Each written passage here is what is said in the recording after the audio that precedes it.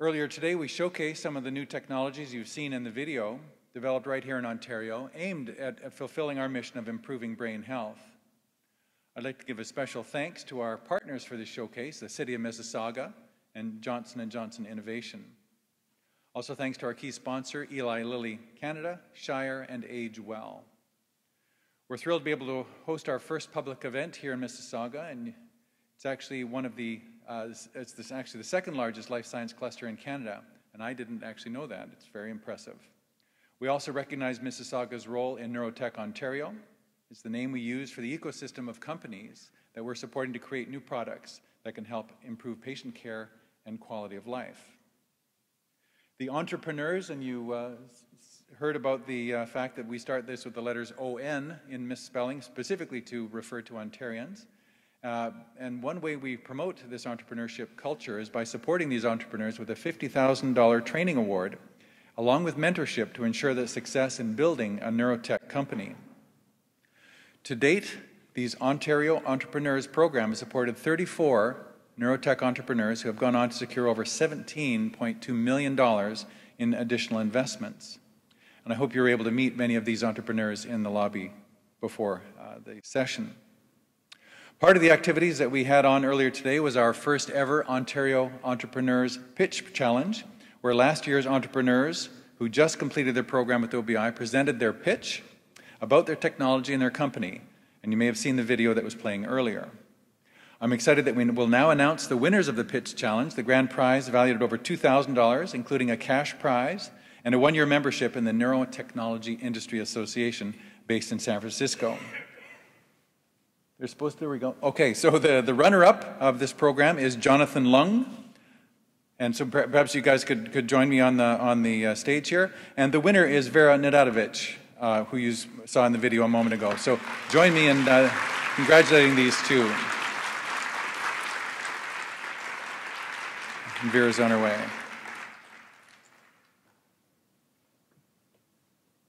So there'll surely be photographs, so uh, front and center. Congratulations. Thank you.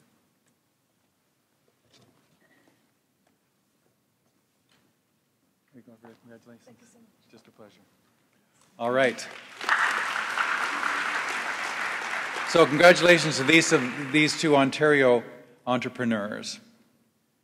So now moving on to the talk, which I'm very eager to hear and hope you are as well. Tonight we're about to learn of some of the incredibly fascinating things that our brains do for us. In all its sophistication, the brain is just as likely as any uh, organ in, in the body. And so we're able to hear to learn what happens when things might go wrong. In Ontario alone, there are more than 135,000 patients living with dementias like Alzheimer's. Because of the great need for better understanding of how to manage, treat, and prevent these disorders, the OBI has placed a major research focus through our Ontario Neurodegeneration Research Program called ONDRI. This program is pretty unique in its approach in that it is kind of disease label agnostic. It refers to patients who have dementia across different disorders, including Alzheimer's, Parkinson's, ALS, frontotemporal dementia, and others. It's our hope that the work carried out by this study will help us diagnose these disorders earlier, improve the care that patients receive, or people receive, and even in the community, and eventually discover treatments that will slow these diseases from progressing and even prevent them altogether. Now I'd like to introduce tonight's speakers. Susan Ormiston probably needs no introduction, but she's a senior correspondent within CBC News, and she has had a, an award-winning career in journalism that spans more than 25 years. She's reported from 25 countries and conflict zones, including Afghanistan, Egypt, Libya, the Ukraine, Lebanon, Syria, and Israel. She's also reported on a wide range of Canadian and world events, including Nelson Mandela's election as President of South Africa in 1994 and his death nearly 20 years later. She's won three Geminis, including Best Reportage for her work in Afghanistan, the Best Digital for a Canadian election special called the Ormiston Online, in 2011, she won a Foreign Press Association Award in London. She's a frequent guest host for CBC News Network and CBC programs including The National, The Current, and As It Happens. She's also reported for The Fifth Estate and Marketplace. Tonight, she's graciously volunteered her time to introduce us to the subject of tonight's talk and to share her personal experience with us. Her introduction will be followed by a presentation of, by Dr. Guy Seabrook, Guy is the Vice President of Neuroscience and Scientific Innovation at Johnson & Johnson Innovation, based in California. Part of his role is to cultivate a strong scientific network of experts in the global innovation community, which includes their new JLabs Toronto community and the Neuroscience Catalyst program based out of the University of Toronto. Guy has more than 25 years of drug discovery research experience in the pharmaceutical industry with a particular focus on Alzheimer's. He graduated with a PhD in zoology from the University of Nottingham, UK, and completed his postdoc research at the University of Miami School of Medicine in the USA. After Guy's presentation, Susan will interview him before opening up to the audience for questions and further discussion. So without further ado, please uh, help me welcome Susan Ormiston. I am here to talk to you about Alzheimer's disease and, um, you know, take us on a little personal journey. I'm going to share a story with you tonight about hats humor, and heartache. It is the most painful story I've ever had to tell, and I've told thousands of stories because, as you probably know, if you've known someone with dementia, it really sears our soul with a long goodbye. But I'm here to tell you tonight that it can be funny, too, humorous at times, and yes, hopeful. First, the hats. Well, my grandmother lived in New York City. She was widowed young and lived in a large house with her two daughters. And in her late 60s, she began to act unusually. She would be very paranoid and suspicious of even those she loved the most and trusted. She used to go out for walks in the neighborhood. And when she went out, just before, she'd go to the closet and she'd pick out her two hats. She'd put one on and then put another on top. And my aunt, who was living with her at the time, would say, Mother, why are you wearing two hats? And she turned to her one day and said, Well, that's simple, dear. The one on top is so that the one underneath won't blow away. now, I was a young girl, but looking back, I realized that this was my first exposure to what I call Alzheimer logic. You may have experienced it yourself. There's no point really arguing with someone suffering from dementia or Alzheimer's disease. And sometimes, if you're patient, if you're open and not completely frustrated in the moment, you can see that that circuitous logic sometimes makes sense. My grandmother sadly died of Alzheimer's at age 73.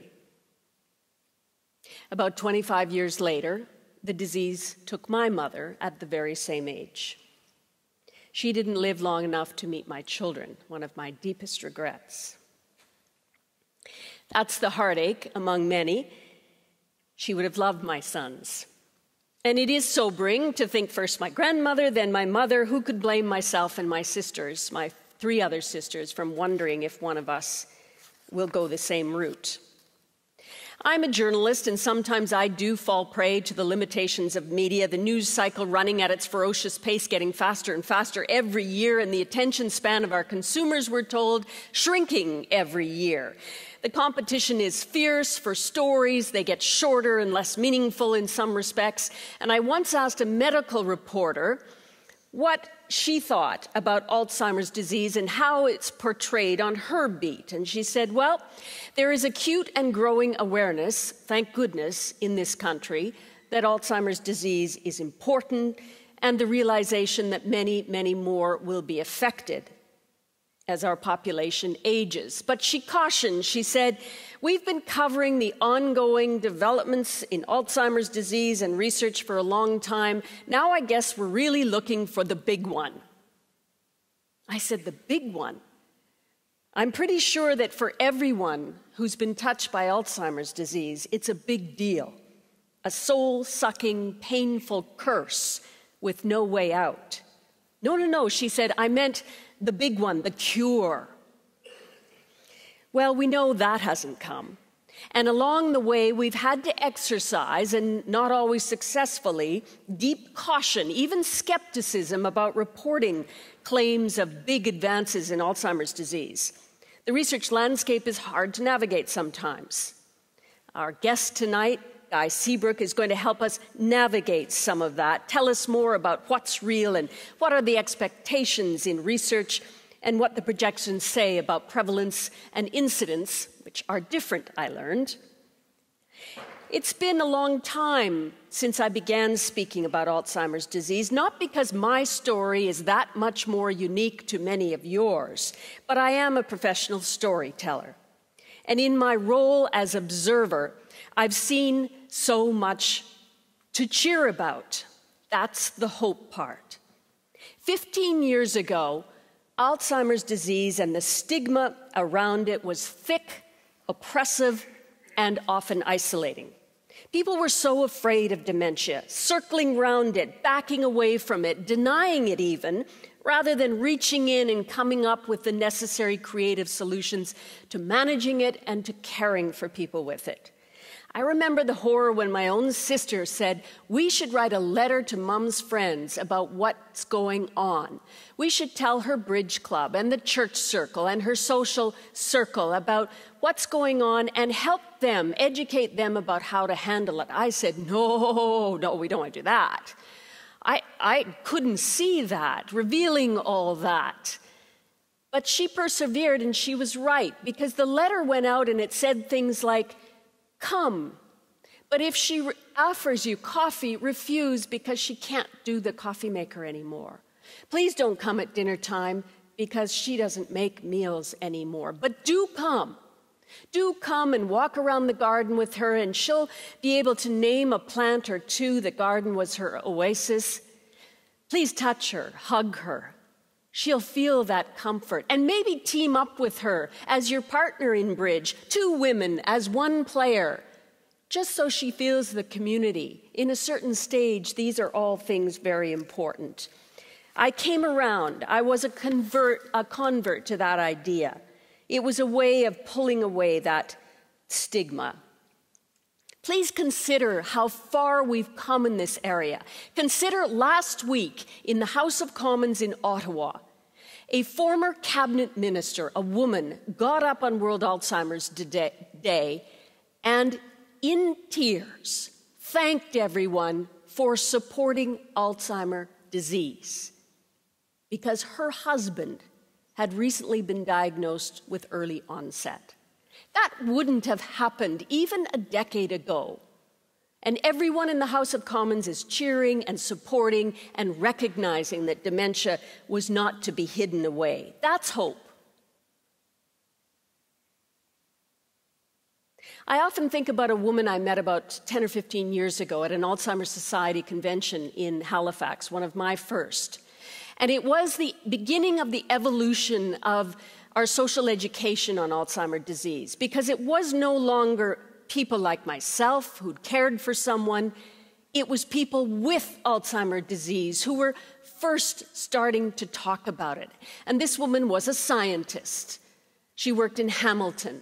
And she was able at that stage in her disease to give a speech about what it was like, what it was like struggling to find solutions to the scientific problems presented to her, what it was like struggling to find words to talk about her research and what it was like hiding from her colleagues the fact she couldn't find those words, only to find out much later that in fact they recognized that something was wrong much earlier than she admitted it. Such bravery to lead us all into her world, to show us while she still could the power of breaking down stigma whilst fostering understanding.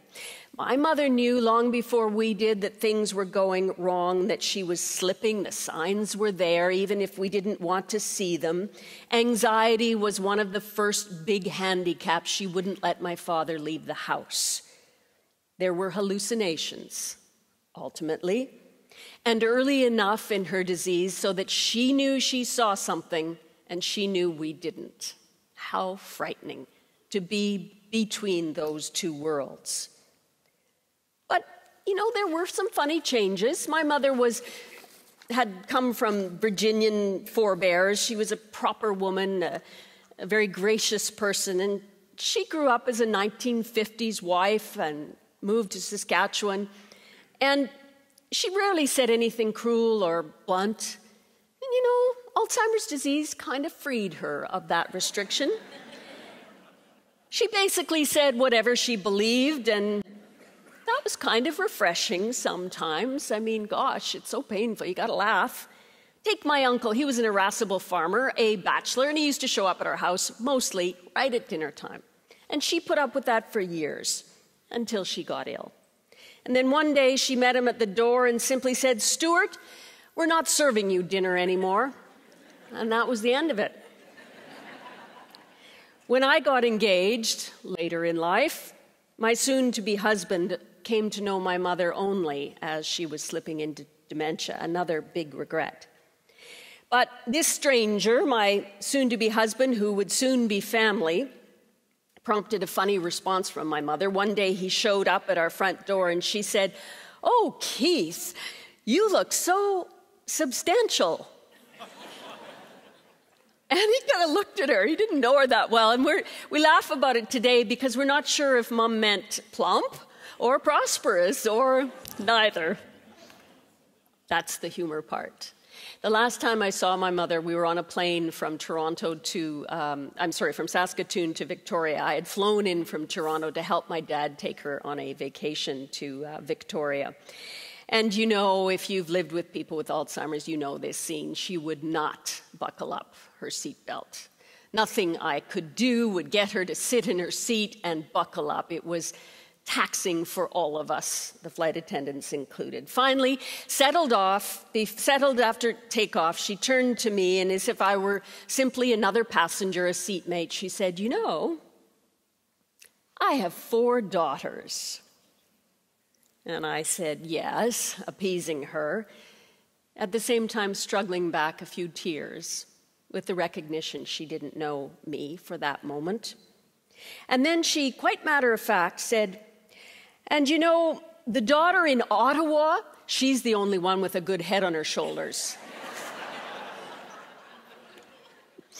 Funny thing is, we all knew she kind of thought that, and she's probably right. And to this day, my sister in Ottawa teases me about that. Of course, normally she would never have said it. So I'm here to tell you that Alzheimer's can be funny, it can be heartbreaking, and it can be hopeful. And I'm now at the stage when I'm seeing more hope.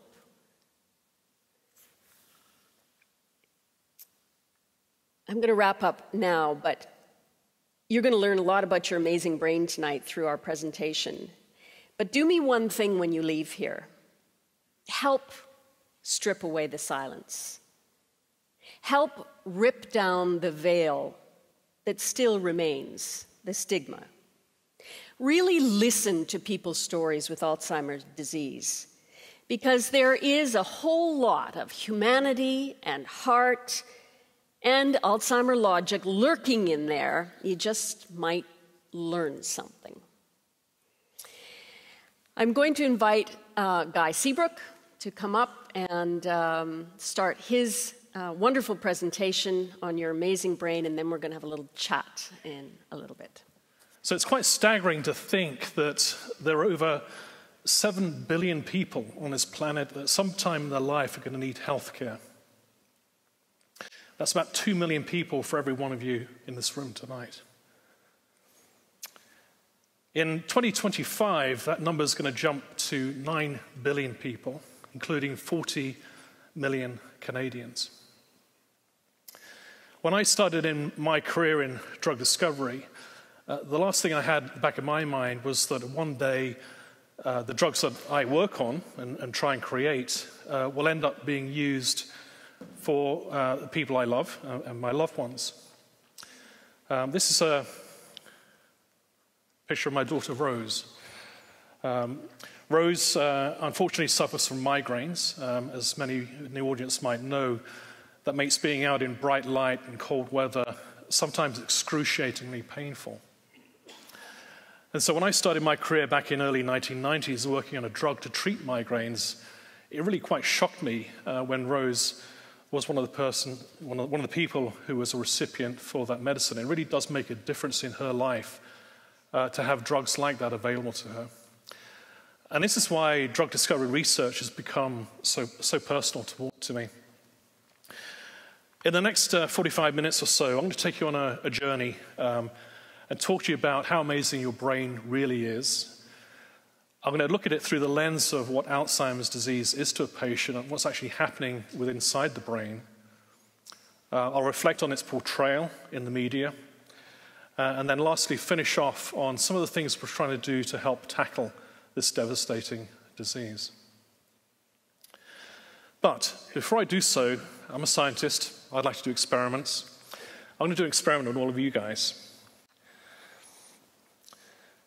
Before I do that, however, I just want to remind you of the fact that um, within the audience tonight, um, there are several different types of people. There are those people who have uh, exquisite memory for names and languages. Uh, there are other people in the room who have terrific memory for things like spatial navigation. And it's interesting, those combinations of people tend to happen in couples. Thank goodness for spatial navigation and, uh, and also these GPS systems you can now get in cars because my wife and I have just returned from a 3,000 mile trip up and down the West Coast. My son's just gone to college, and we decided It'd be a great thing to go off on one of these um, empty nested trips. And my wife thinks exactly like that. So if I ask her for directions, I get the name of the street. I turn right on this street, and left on that square. And I'm completely confused, to be honest with you. Um, I'd much rather sit down, look at the map, and try and orientate myself in space to where I'm going to end up going and uh, can invariably memorize things in, in, that way. But there's a third group of you in this audience, um, probably the people who have not really decided which way their brain's going to go, and they tend to be the young people. But they tend to be pretty good at both uh, aspects of learning and memory.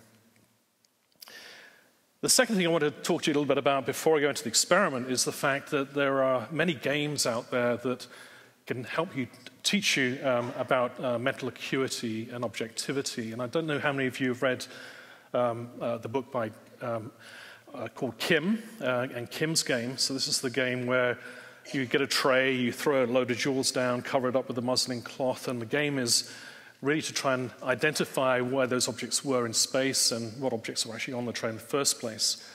And this came from uh, Rudyard Kipling's book um, uh, about the spy named Kim.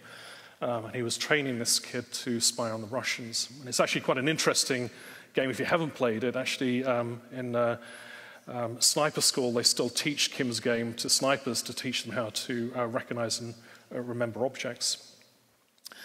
But think about playing Kim's game with that fifth grader when you're 50 years old. It's actually incredible how good fifth graders are at those types of uh, games. And uh, I see many of you in the audience probably recognize a child like that that you've uh, uh, worked with in the past. But no matter what type of memory you have, I'm going to show you in the next five minutes how easy it is to synchronize all of your minds very quickly, you're going to learn something very quickly. Something that is going to stay in your mind for days, weeks, if not years.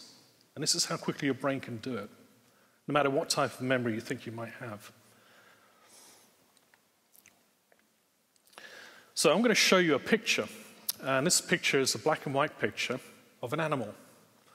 If you think you know what the animal is, put your hand up. Okay, so see a few hands. Not everyone's putting their hands up. Sometimes people say they can see a picture of a running woman, or maybe it's a falcon with its wings outstretched coming down to land with its talons just reaching down to grab something off the ground. But that's not the case. If I show you the picture in the correct orientation, this is where your brain's going to do its magic and convert that very complex black and white image into something you can recognize instantly. And it's something that's going to stay in your mind probably for the next few years. And here's the picture. So, for some of you, you'll see in the top right hand quadrant there's a base of a tree. And in the middle of the picture, you'll see a Dalmatian with its head down to the ground, walking towards the tree, sniffing. And the two things that we thought were wings are actually the shadow of the dog in the image. Do most of you, most people see that in the audience? Yeah. So, literally, in a space of a few minutes, your brains develop this way of decoding that very complex image into something that you can now recognize. And if I showed you that same image now in a year's time or two years' time, you'll quickly go and judge uh, what that uh, creature is in the, in the image. Uh, and also to the point, and this is still a little bit more complex doing it, now if I revert the image back to the other direction where it's upside down, your brain can now, if you start to concentrate it, can sort of deconvolute it, even though it's a little bit more complex you can now figure out where the base of the tree is, and you can start to see the, the head of the dog, the body of the dog, albeit upside down. That's how amazing your brain is. So, no wires, no magic tricks, no drugs, perhaps a little bit of that caffeine from Tim Hortons coffee you might have had later on this afternoon, but that's how that's amazing your brain is. And your brain is doing this all the time, every minute of the day, whether you're conscious of it or not conscious of it. You have over 90 billion neurons in your brain, 10 times as many people that are going to be on this planet in 2025. Every one of those brain, uh, neurons in the brain can have up to a thousand, maybe a hundred thousand connections with its neighbors. Can you imagine having a conversation with two million people at the same time? That's what your brain is doing every millisecond, every second of the day. That's how amazing your brain really is. But your brain is also working very actively to try and um, interpret the world around you and is working pretty much in a dichotomous way. We like to think about things in black and white. We like to think about left and right, uh, right and wrong. And so your brain likes to sort of compartmentalize things because it makes decision making easy. That's also one of its fallacies. Your brain is also very good at deceiving you. If I was to tell you that the death rate associated with North Atlantic hurricanes was influenced by the time of the year, the day of the week, the wind speed, or even the location of landfall of the hurricane, you wouldn't be surprised. That's pretty, pretty obvious. Since the 19, 1979, the World Meteorological Organization has been naming hurricanes um, over a six year period against a strict list of alternating male female names in an alphabetical order. So, who would have thought that the death rate associated with North Atlantic hurricanes is actually associated with the name? Sounds pretty bizarre, doesn't it? If I was to tell you that the death rate associated with North Atlantic hurricanes is greater if it was a named a male hurricane, who would believe that? Put your hand up if you believe it's higher if it's a named a male hurricane. One or two people. If it's female, ah, pretty smart audience. That's exactly right. Female named hurricanes are three times more deadly than male hurricanes.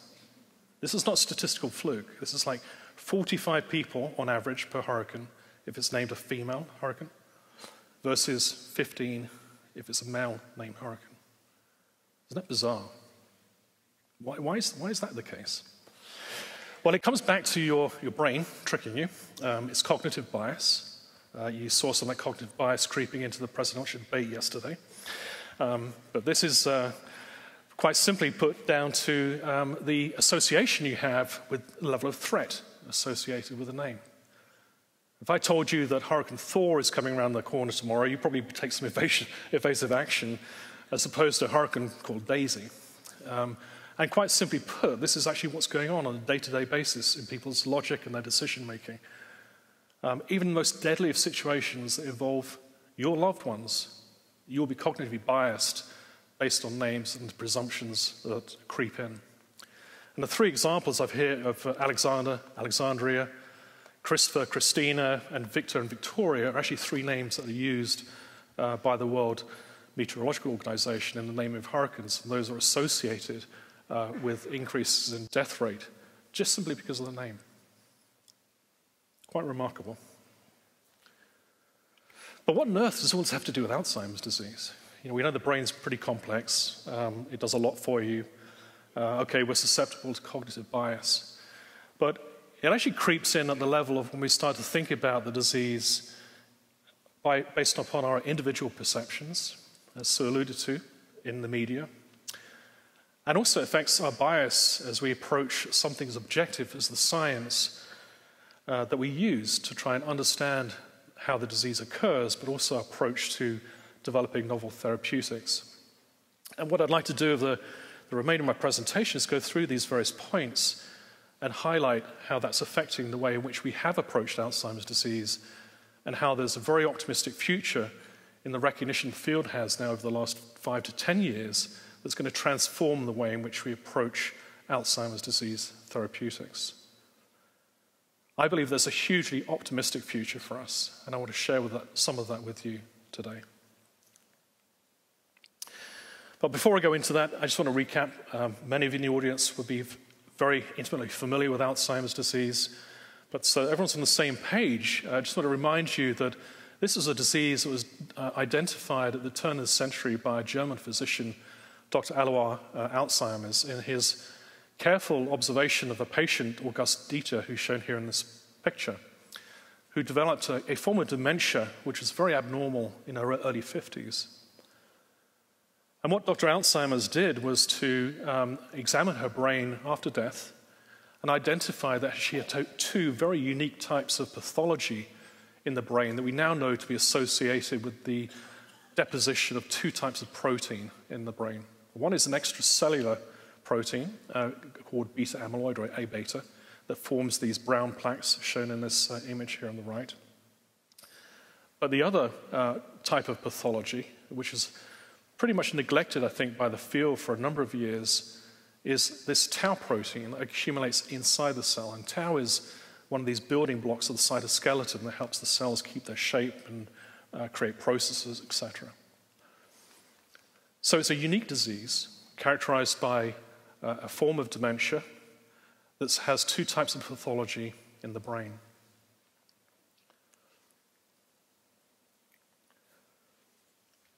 There are many um, perceptions about Alzheimer's disease, um, which include it's a disease of aging, only old people get it, it's normal, uh, there's nothing really I can do about it, uh, and ultimately a cure is going to be available, so I really don't need to worry about it until I get old. Well, in fact, those perceptions are in most cases incorrect. Um, it's not simply a disease of aging, and not only old people get it. Unfortunately, young people do uh, are vulnerable to the disease, particularly those with the early onset um, uh, genetic polymorphisms that cause the disease, as well as patients with Down syndrome that have a disease that's very similar to uh, Alzheimer's disease. It's not normal. Only 4 to 5% of the population will get Alzheimer's disease, and it's not normal aging. And there are potentially things you can do about it, even in your midlife, and I'll talk about that a little bit later. And we're also actively working on not necessarily treatment, but also cures for the disease. I'll touch upon that too. But uh, we're also still struggling with interpreting what we see in the media on a day to day basis. And uh, um, I'm always sometimes a little bit frustrated when I see these headlines coming out on a month to month basis of an Alzheimer's cure being found. Um, when you dig down a little bit deeper, the subtext is either it's in mice again. We've been very successful in curing Alzheimer's disease in mice. We've done that hundreds of times, but unfortunately, none of those have translated to the human disease state. And so there's a lesson to be learned there. And quite often, too, um, when you dig a little bit deeper in some of these headlines, it's because it's a post hoc analysis in a subgroup of people that really doesn't um, stand up to statistical in, uh, interrogation. And even uh, in August, when I was preparing this talk back on August the 15th, I just took a snapshot of some of the headlines that came out about Alzheimer's disease. And you see um, headlines like, These kinds of jobs help protect you from Alzheimer's disease. Really?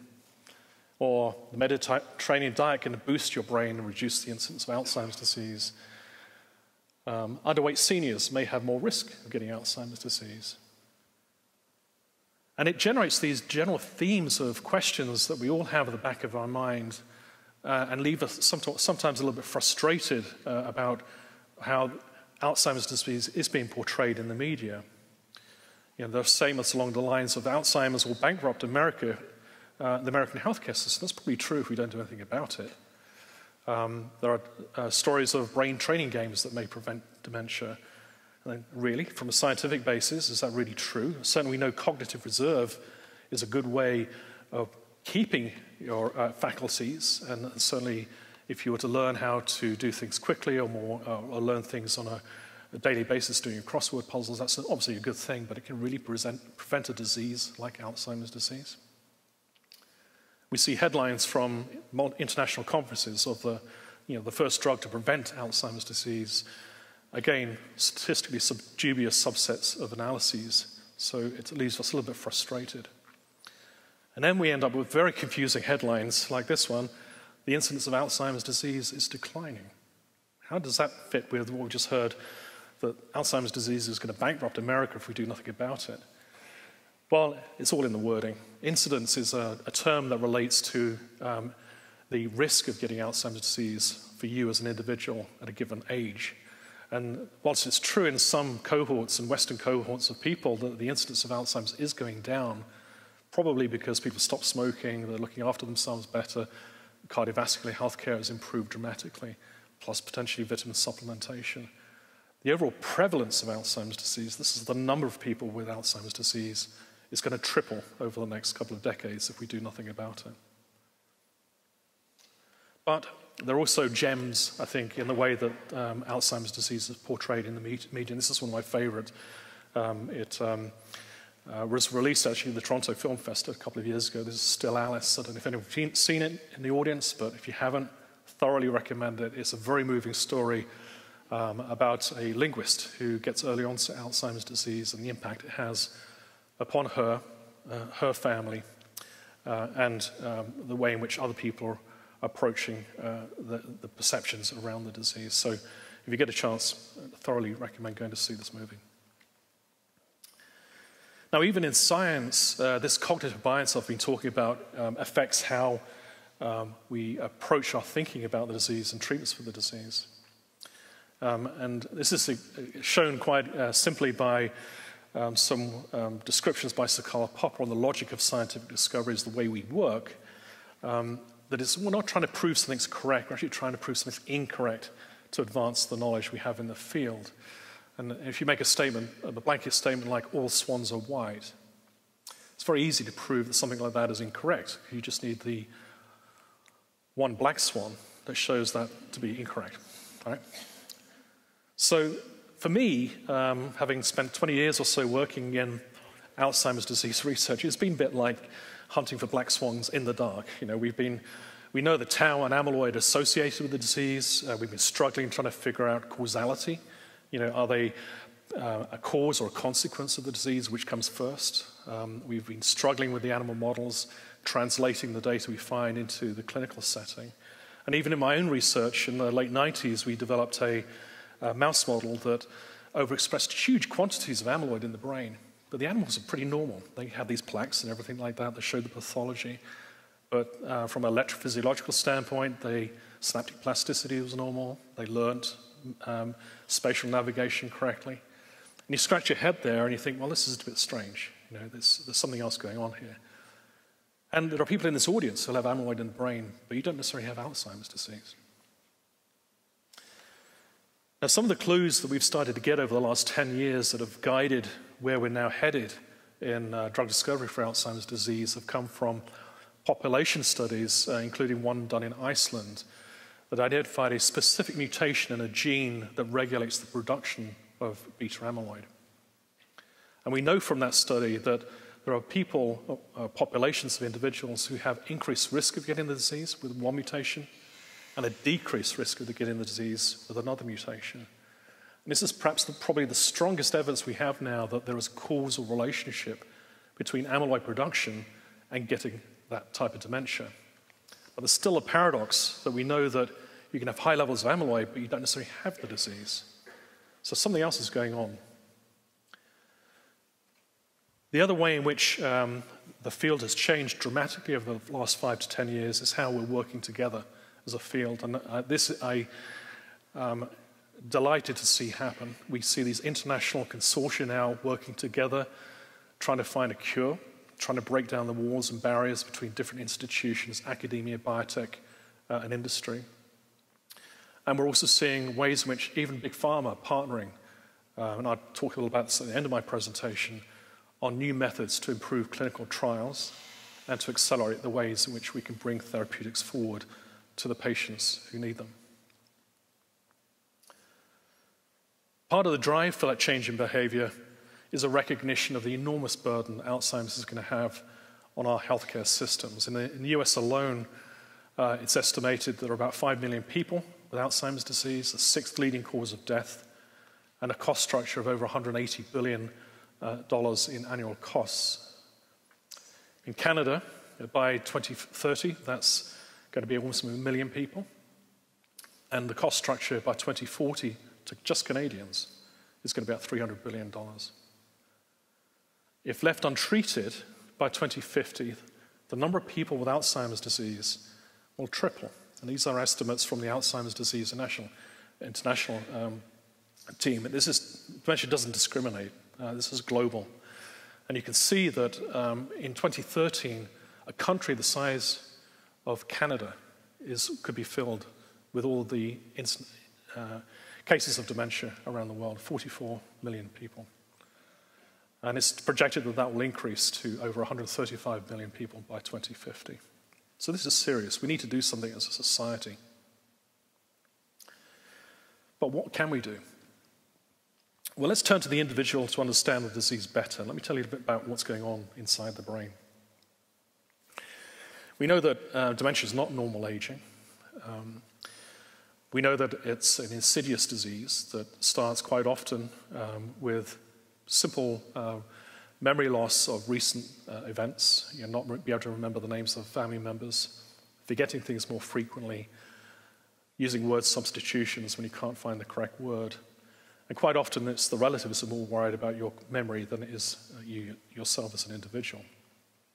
And if anyone has any concerns, I'd thoroughly recommend going to the Alzheimer's Society um, website um, in Canada, uh, which is, has a, a, full of incredible resources there to use and to, and to look at. But dementia is not just about memory. It affects behavior, emotions, and even physical activity. Apathy to some things, agitation to other. Coordination and mobility. And from a patient's perspective, as you've heard, there are a lot of complex feelings. And there are a huge number and depth of emotions that are experienced by the patient as well as the caregivers. This is okay, it's a complex disease, it's challenging, and it's okay to have those feelings. There are also moments of lucidity uh, for the patient when I'm sure it's truly terrifying. And in addition to uh, quite often the quantitative changes that we as scientists talk about, there are many qualitative aspects to uh, people's quality of life, the confusion, the disorientation, that are just as important.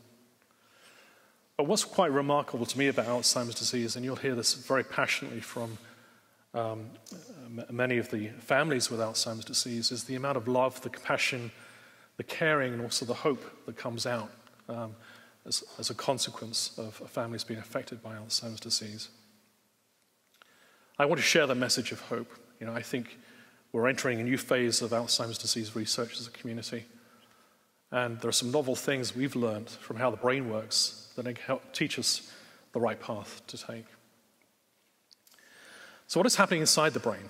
Well, let's break that down into our understanding what human memory really is. And, you, and a broad brush, you can break it down into things like sensory memory, short term memory that might last a few minutes. Maybe it's that mathematical calculation you have when you bought your cup of coffee, trying to figure out what the correct change is.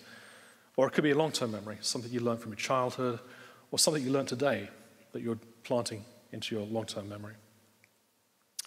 And those types of memories can be broken down to whether they're conscious or whether they're unconscious, what we refer to as explicit memory or implicit memory, things you're not really thinking about. And further defined by whether they are related to the types of names, places, facts, and events in the form of declarative memory and procedural memory. So when you're learning a skill or a task, that dog that I showed you at the beginning of the presentation.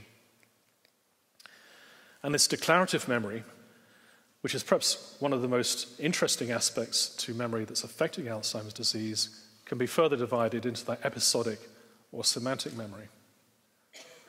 So people with those great memories for names and languages versus those people have better memories for space. And in Alzheimer's disease, uh, sorry, and this type of, all these types of memories are influenced by what's called the um, uh, executive function that occurs in the front of the brain. This is a bit like the CEO of the brain that controls and orchestrates what's going on in both hemispheres of the brain, tries to make sense of the world around you. This is the bit that's subject to cognitive bias. But in Alzheimer's disease, what we do know is happening is that one of the first areas of memory that's affected is this declarative memory. But uh, it's an insidious disease. It doesn't just reside within the same brain area uh, during the course of mild to moderate and progression to later stages of Alzheimer's disease. You can see that all dimensions of memory uh, end up being affected. But we can learn a lot from just understanding what's happening right at the onset of the disease. If our goal is to cure Alzheimer's disease, that's where we need to start. And in the brain, this is a cross section taken through the middle of the brain. Um, you can see that different types of brain structures handle different types of, uh, of memory. So, the executive front cortex um, function in frontal cortex. You have uh, short and long term memory being handled by the cortex, as well as the structure called the hippocampus. And in emotional memories being handled by organs like the amygdala, and procedural memory, of the dog, being handled by org- organs like the cerebellum and striatum and visual cortex. But this uh, little organ in the center of the brain, called the hippocampus, which is slightly out of the plane of this particular section of the brain, is pretty unique and pretty interesting. There are two parts of the hippocampus on either side of the brain. Um, it's named hippocampus um, after seahorse and, uh, from the Greek, um, and campus.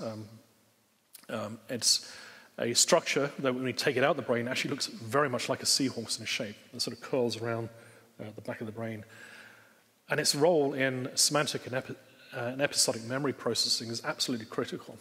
This is the part of the brain, if you take it out, it becomes, it becomes incredibly hard to form new memories that are associated with names, places, and events. We've seen that from patients um, who've had uh, part of this brain resected because of uh, chronic epilepsy. Patient HM is a very good example of that.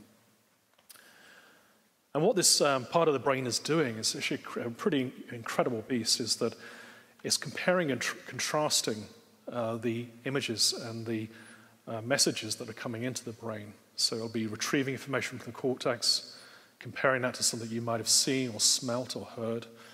And it's comparing and contrasting all of these signals, oscillating five, five to 100 times a second.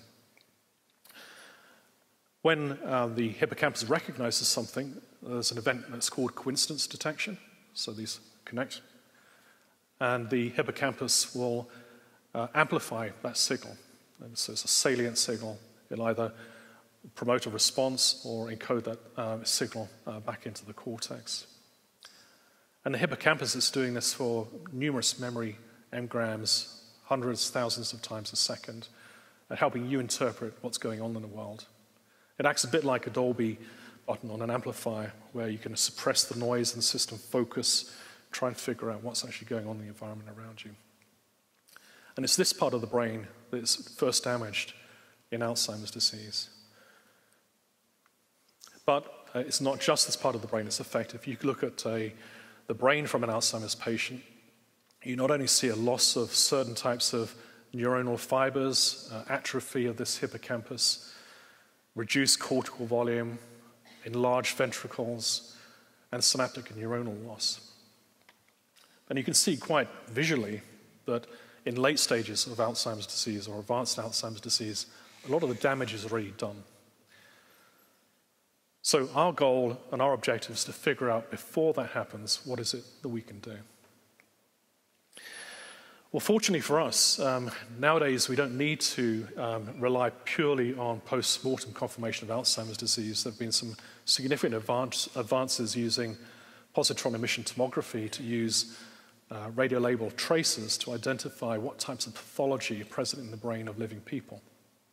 And you can do that for both amyloid, and in this, um, uh, these series of figures, also for the tau protein now, this is the protein that accumulates inside the neurons. Uh, and here we're, we're, seeing a progression from normal, this is called a Braak stage zero brain, to advanced Alzheimer's disease or Braak stages um, five and six and beyond. And you can see that this uh, pathology, shown here in the yellow, green, and red, just as the start of the, the symptoms appear, which is in Braak stages three to four, starting to spread throughout the brain. And it starts in this hippocampal region. And this has taught us a lot about what is actually going on pathologically in the disease. We now know that amyloid, whilst it defines, in part defines the disease, can be present in your brain for decades before you present, if you present with Alzheimer's disease. There's something else going on. And it's this tauopathy, the accumulation of tau, which is driving the neuronal, neuronal damage. And so much of the emphasis of what we're doing at Johnson & Johnson and other companies is to try and focus on these early mechanisms to try and prevent people getting the disease in the first place, rather than trying to tackle the disease when the fire is already ravaging the house. So this has taught us a lot about how the damage occurs, and it helps teach us about when and where to intervene. This is important for all of you um, in the audience because um, at least a third of you probably will have at some point in your life elevated levels of amyloid in your brain. Not all of you will get Alzheimer's disease, but you'll be at risk of getting Alzheimer's disease. Uh, statistically, another third of you, if you live into your 60s, 70s, will be looking after someone with Alzheimer's disease, and the remaining third will, in some shape or form, be paying for it if we do nothing about it.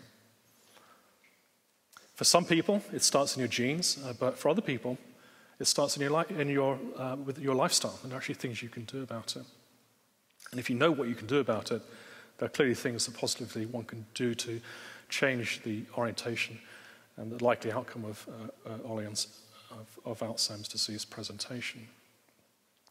And there are certainly things that we in industry can do to help with this process. And this is where my optimism uh, comes forward. There are actually over 480 assets that are being evaluated worldwide um, and being investigated as potential Alzheimer's disease therapeutics. And over 130 of these are drugs already in clinical trials. So, although the, risk, the, the statistics are stacked against successful drug discovery, I remain optimistic that several of these therapeutics will end up making it onto the marketplace. And certainly by the 2025 timeframe, um, I expect the first generation of disease modifiers and disease prevention drugs from coming onto the market. Now, it takes on average 12 to 15 years to make a drug, to take it from the bench um, to the marketplace. So, this really means that these drugs that we're talking about here, those are actually in clinical trials as we speak at the moment. And um, the majority of these are actually in industry sponsored trials.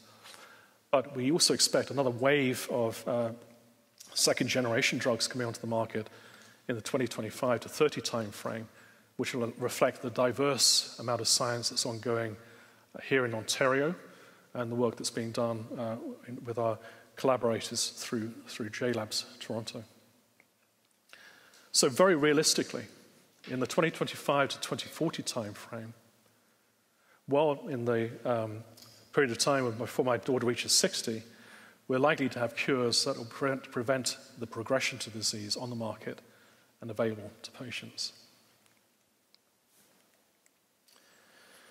But quite often I hear the cry from uh, some of my colleagues and perhaps more skeptical people in the field that isn't the system broken? Isn't industry collapsing? We're not generating enough drugs. There are problems with getting drugs onto the market that don't always work. And we see these pictures of you know, horror story of the number of drugs being approved by the FDA declining over time. This is from 1998 to 2010. And this is sort of a bit of selective reporting because when you look at the big picture, and uh, I've seen several reviews that have shown pictures that are in the previous slide, actually the picture is pretty rosy. Um, uh, the uh, productivity of uh, industry and biotech is, is very healthy. Um, in fact, if you look at the 2014-15 figures of new drugs coming into the market, um, they're actually rebounding above and beyond the mean uh, over the last 20 to 30 years. But there's another message there that I want to get across, which is that the, whilst the productivity of industry is there, the cost of doing drug discovery and the source of innovation is changing. And this must influence the way in which we, how we work together. Most new drugs now are actually coming from outside of big pharma. And if you look at the number of drugs that are approved by the FDA, only eight out of 27 were marketed by those companies that actually discovered them. So the majority of them partnered or in licensed. Uh, and that figure for Big Pharma was three out of 14. So it's imperative that there's a very stro- strong and close bond between all of the stakeholders involved in drug discovery research, from the academic scientists, the biotech entrepreneurs, industry, and also the government stakeholders, because we can't do it alone. We have to work together to be successful. In addition to simply drugs, um, we know that there are several things you can do about Alzheimer's disease. We can't change our age or our sex, um, but um, we know that um, there are risk factors that will increase or associated, should we say, with the increased risk of Alzheimer's disease, and those do include diet, um, exercise, uh, smoking prevention, particularly in mid 40s, uh, managing cardiovascular and metabolic health, you know, keeping cholesterol, blood pressure, diabetes under control, managing stress, and also maintaining cognitive reserve through agility and cognitive reserve training programs. But it's also important to recognize uh, when there is an issue and seek medical help um, as appropriate because not all forms of dementia are caused by Alzheimer's disease. Some types of dementia are caused by, um, it can be caused by uh, diet, um, some can be caused by stresses, it could be caused by an illness that's unrelated, completely unrelated to brain function, it could be peripheral disease.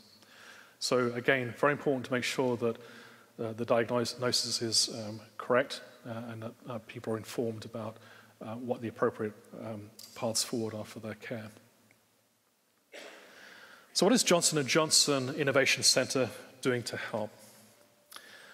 Well, for us um, at J&J, catalyzing innovation is really about creating strong networks of people. This is why we've deliberately created four innovation centers around the globe and created these new JLab facilities to provide an interface into the biotech and academic community around the country.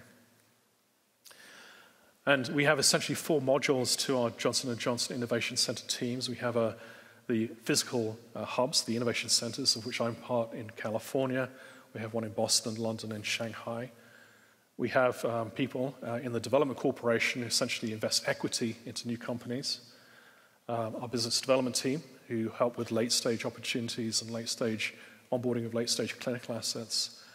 And then JLabs, uh, which is our flagship uh, accelerator unit, which represents a no strings attached accelerator or incubator that helps entrepreneurs start up their companies, not having to worry about the physical infrastructure of starting a new company, not worrying how to sit down and write about a license or acquire equipment. Um, this really helps people get hit the ground running, test their ideas scientifically, and see whether or not uh, that idea is worth pursuing. And we've created um, uh, several JLabs now around the United States, including uh, the uh, first outside of the United States in Toronto.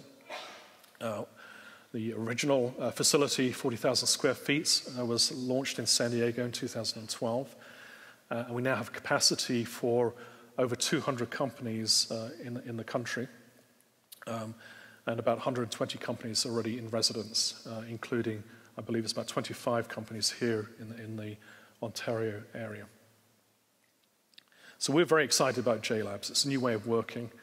Um, it's a new way of us ident- identifying and help fostering innovation uh, across the uh, uh, not just the pharmaceutical, but also the medical device and diagnostics and consumer uh, areas of our business. And allows us to invest very early in ideas that could make a difference to patients. This is not just by putting cash on the table, but it's actually about working with entrepreneurs to help provide them with the expi- ex- experience and guidance as to what's going to become successful. In Ontario, where, as I said, we're doing several things, actively working with these accelerators. We're working with new company formation. We're working with Mars Innovation to help commercialize some of these companies. And we've also initiated a collaboration with the University of Toronto with the Neuroscience Catalyst Program, which is helping see these new ideas and help with new company formation. One of the other challenges we're dealing with, of course, is if we're in the business of curing the disease, not just treating the disease, we're also left with a dilemma well, how do you identify who's at risk? And so, uh, one of the really important things that we're doing is to try and work with patient registries and online tools and diagnostics to be able to identify uh, people who are at risk very early in their life so they can get access to these important medications as and when they become available. And I'd like to acknowledge all of the collaborators we have um, around the country and around the globe. This is just a small snapshot of some of the people we have uh, working with, uh, whether it be biotech, government organizations, as well as the local infrastructure here with the Ontario Centres of Excellence, Mars Innovation, and the University of Toronto. And without you, we'd not be able to accomplish half, even half of what we're doing. The Neuroscience Catalyst program was a, an innovative program we set up with Ruth Ross at the University of Toronto, um, which was really geared towards trying to bridge this gap between academic scientists having a brilliant idea, but not being able to translate that into a commercial setting. And quite often, uh, when partnerships are formed with industry, there are always questions around who owns the intellectual property, uh, where does the money go, how's it going to be deployed, how's the research conducted, um, are they going to get access to the tools and reagents necessary to do the work? And we tried to streamline the University of Toronto's Neuroscience Catalyst program in a way that was really focused on the innovator, not the industry partner.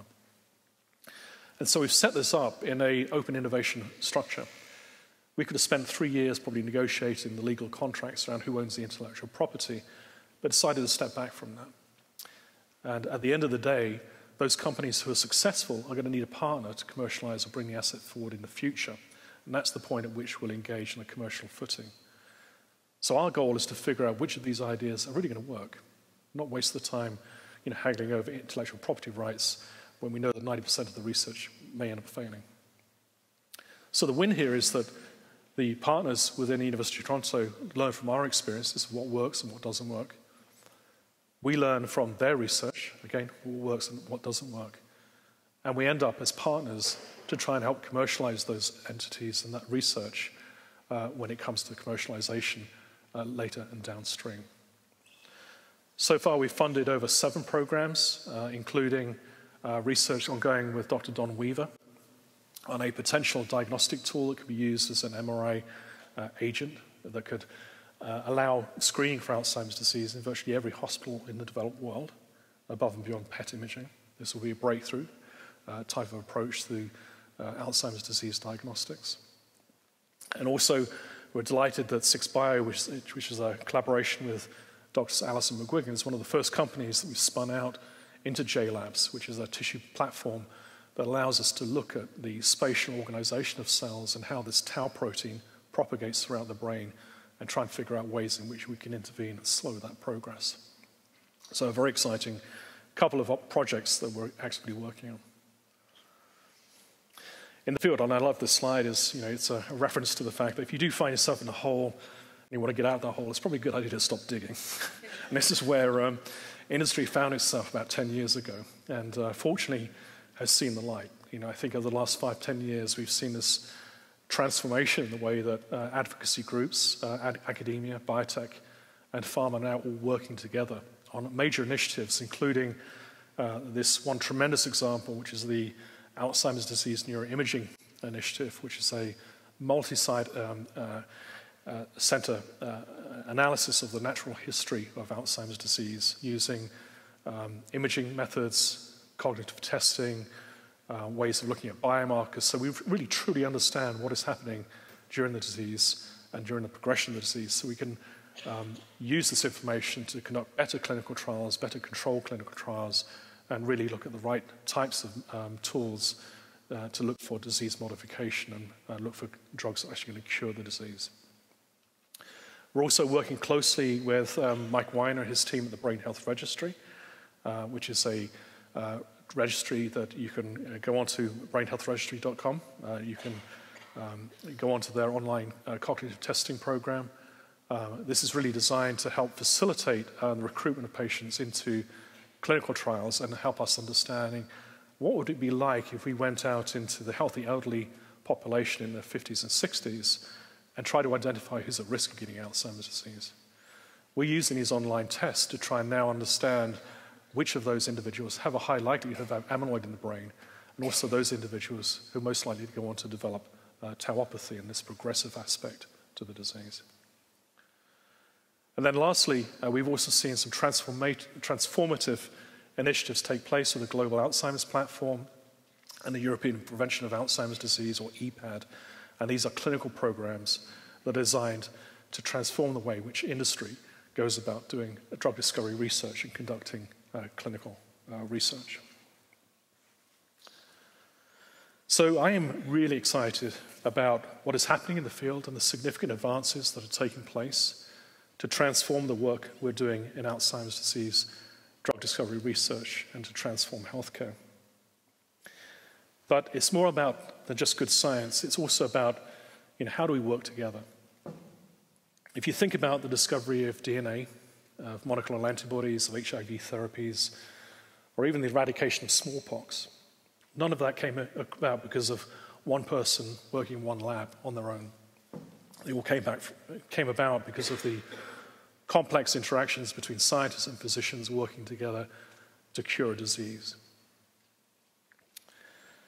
Innovation rarely happens in one place. It more than readily happens where there are teams of researchers working together, utilizing and sharing resources and ideas. Our industries, biotechnology and pharma and academia, have always been at the center of discovering new and innovative approaches for healthcare.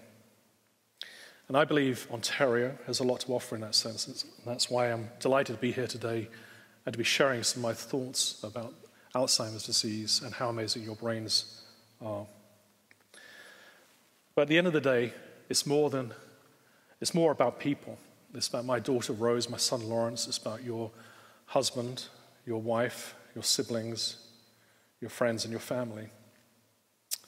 It's about providing affordable access to healthcare across the globe. That is what we're here to accomplish. We're here to help cure Alzheimer's disease, and we'll be delighted to work with you, with our JLabs team in Toronto, and we look forward to discussing your ideas and your concepts further in the future. Thank you.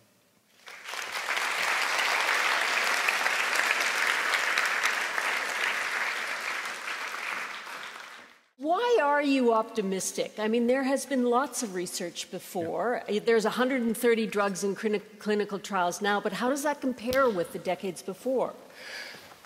Yes, and, there's a huge amount of attrition in the translation of uh, what we thought we understood into the clinical setting. In part, um, uh, there are a number of reasons for that. Um, in part, because quite often the drugs that were tested in the past either don't get into the brain, um, and so we're not really truly testing a hypothesis. We've never had, uh, uh, as we do now, really effective biomarkers to understand that the brain is the brain, the drug is getting into the brain, penetrating the brain, accessing the target, doing what's intended to do.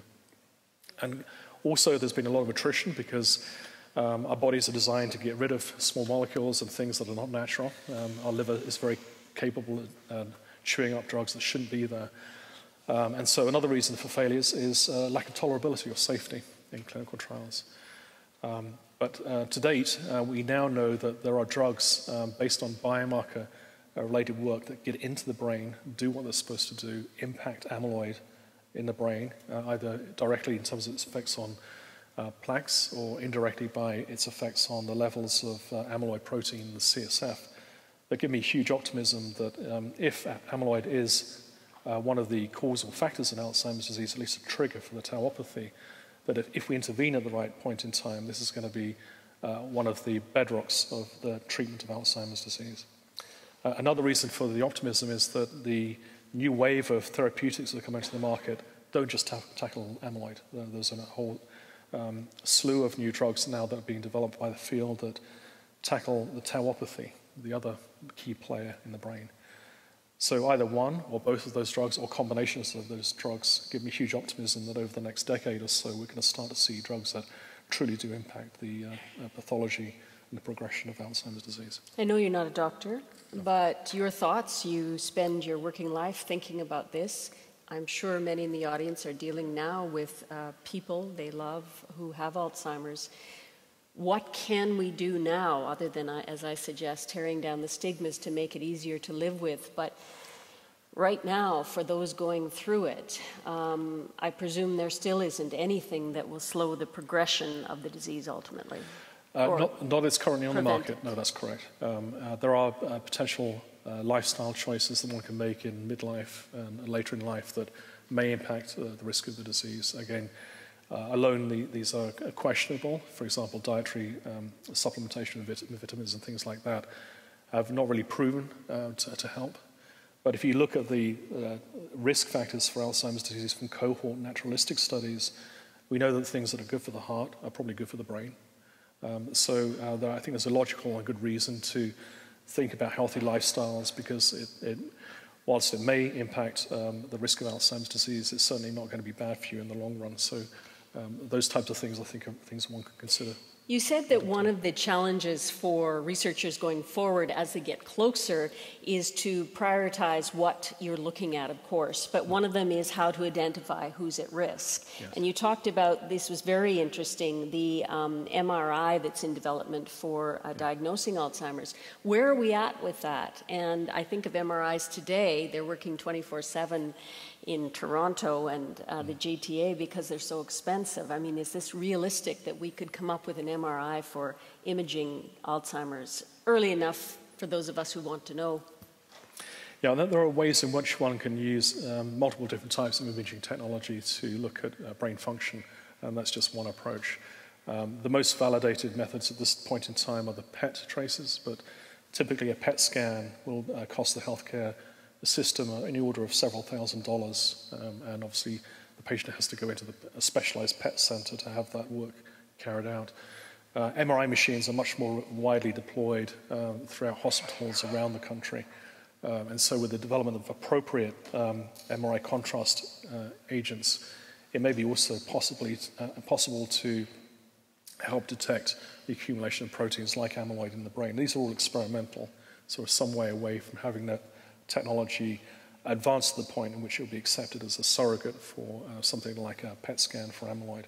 But that's where the future lies. Um, and we're also working on um, blood markers for the disease. Um, obviously, to take a, a cerebral spinal fluid sample from every patient is going to be prohibitive and costly to do so. So we're looking for non-invasive ways also to detect changes in uh, things like cognitive performance using online neuropsychometric testing. And so Cogniciti, who's uh, Mike is probably in the audience, is one of those companies working locally in, uh, uh, in Canada uh, on ways in which using online neuropsychometric testing, you get hints as to your normal cognitive performance.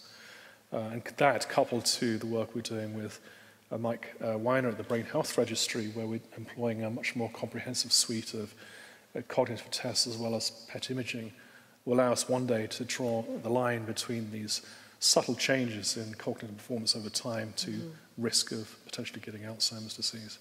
But I, I view um, diagnosis of Alzheimer's a bit like the way in which we view cardiovascular disease, where you have things like a Reynolds score. It's not going to be one uh, and one test alone that's going to help define your risk. It'll be a, a cluster of things like your familial history, your genetics. Do you carry an ApoE4 allele?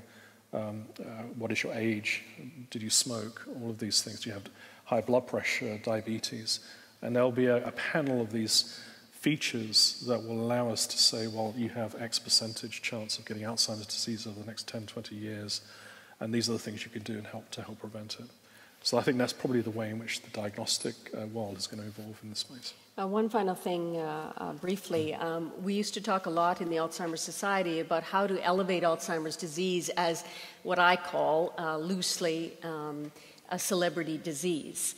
Um, it used to be that we would see so much money going into diseases totally worthwhile, like cancer and many others, but I know many of us felt that Alzheimer's disease didn't get the import that it deserved given its impact on the aging population. Do you think now it is? Do you think governments recognize it? And what can we do to make sure that that happens? I, I think over the last two or three years, we've seen a major shift in the recognition of what Alzheimer's disease represents to society. And a lot of credit here goes to organizations like the Alzheimer's Association of uh, Canada and, and, the US, who've done an enormous amount of work uh, working with um, um, the, the government institutions to get the recognition it deserves.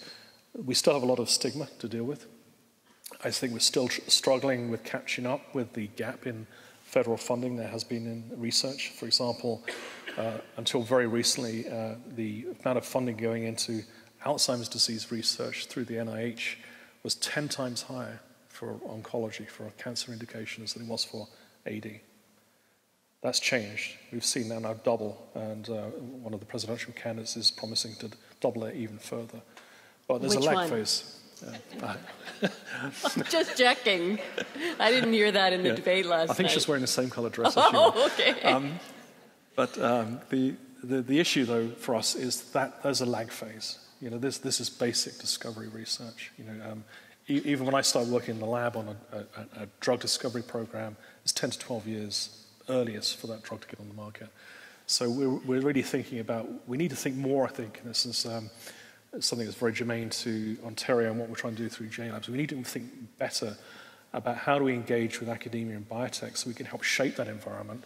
So you guys are going to and repeat things we may have done in the past, but also so how that capital can be deployed on the right programs and uh, figure out the ways in which we can help you accelerate the research that you're doing through uh, groups like JLabs so that we, there's a win-win situation here. You know, um, I think it would be a mistake if we were to sit back on the fence and just let things happen. So yeah. I want to see industry firmly engaged in helping support the biotech community. Thank you, Guy. I see a hand up already, so you're first in the middle of the row. I'm not sure where the mics are. They may come running to you.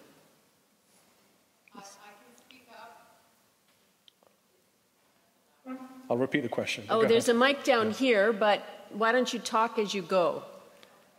Um, as a cancer patient with Alzheimer's in the family, robbing Peter to St. Paul is not very comforting.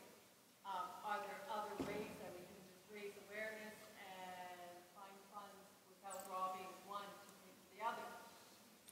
It's, it's a very good uh, question, and, and I'm, I'm, not advocating we reduce oncology spending to support Alzheimer's.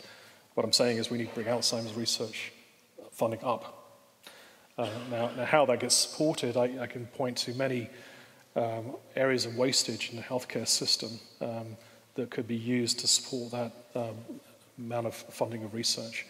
Um, if you think about um, some of the studies that have been conducted on wastage in uh, the uh, US healthcare budget, a lot of it comes back to unnecessary testing, uh, litigation, things like that, um, or issues where Medicare fraud is in place.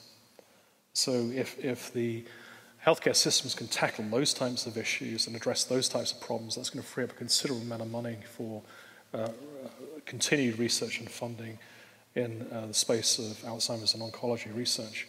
But I would say also that one of the, the beauties of the amount of funding that's gone into oncology research is that we're seeing um, uh, recently with the advent of novel life-saving therapeutics in uh, oncology research is that it's broken open the field to new ways of treating people um, in a way that is, is really um, along the lines of personalized medicine, understanding what type of um, therapeutics going to work best in which patient. I'd love to see that type of um, knowledge uh, applied to Alzheimer's disease because Alzheimer's disease is probably a cluster of different things going on mm-hmm. in the mm-hmm. brain at one time. You know, there may be some people with vascular dementia coincidence with, with tauopathy and amyloidosis.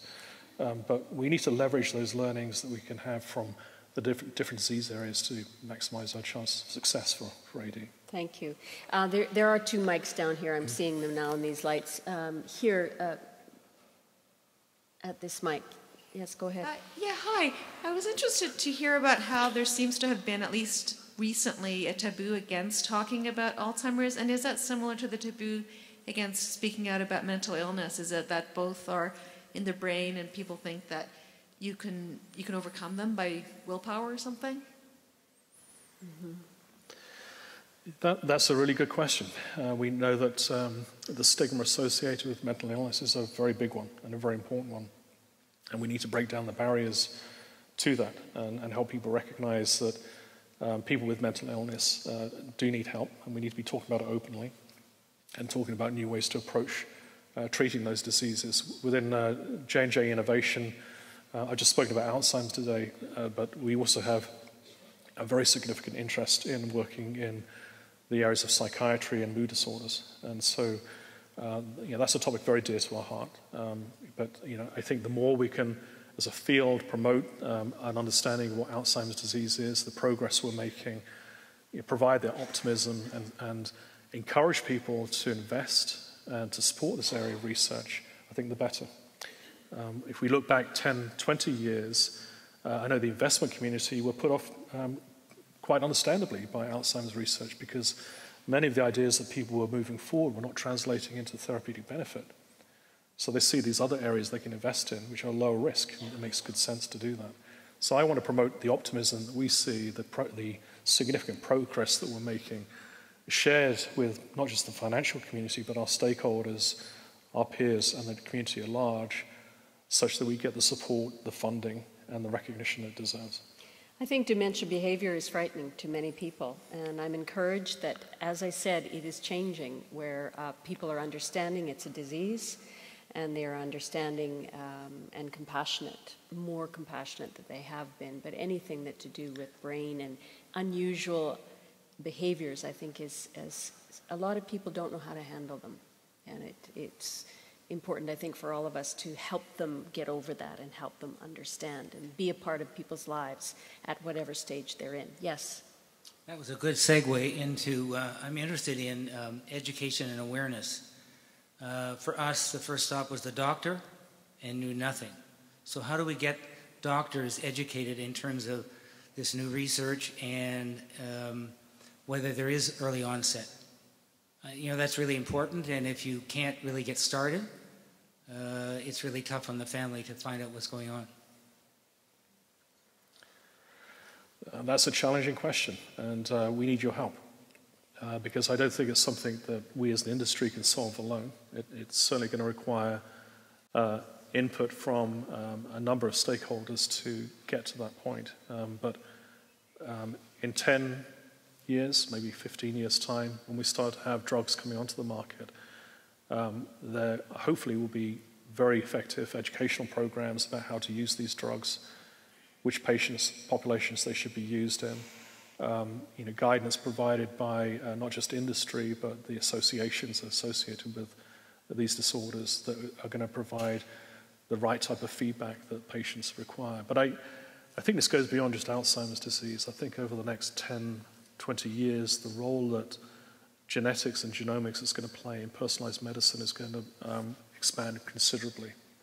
Um, if you think about um, now, you can go and have your, um, uh, your risk factors uh, assessed by various genomic scans um, from uh, various companies. Uh, these, this information is in pockets and places at the moment, but the cost of doing that um, screening has come down considerably. Mm-hmm. And so over the next five to 10 years, that's going to become something that um, there are a lot of ethical issues that will need to be worked through, both in terms of um, how the healthcare environment and health, health insurers will work in this space. But um, there are a lot of good examples where that type of information is put into the right hands and with the right physicians could be extremely valuable to uh, help um, with situations like this. Um, but I can't speak to a specific uh, instance, but I, you know, again, it's something we need to work on as a field and as a, as a community.